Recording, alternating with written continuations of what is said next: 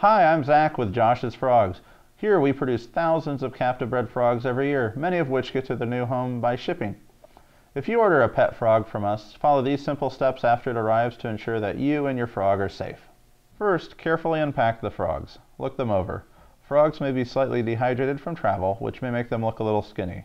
Don't worry, after they are introduced into a proper environment and misted, they'll quickly soak up water and return to the plump, active animals they were when they left here. If there are any issues, contact us via the contact information below. Make sure to contact us as soon as possible. Our live arrival guarantee requires that we are contacted within one hour of delivery and emailed pictures. Frogs will be individually housed in their own deli cups that will be taped shut. Carefully remove the tape, then set the container in the frog's new home. Remove the top, then let the container in the closure until the frog leaves on its own.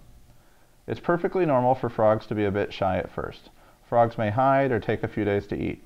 We recommend offering frogs food a few hours after they've arrived, but don't be surprised if your frog shows no interest in food that, that first day or two.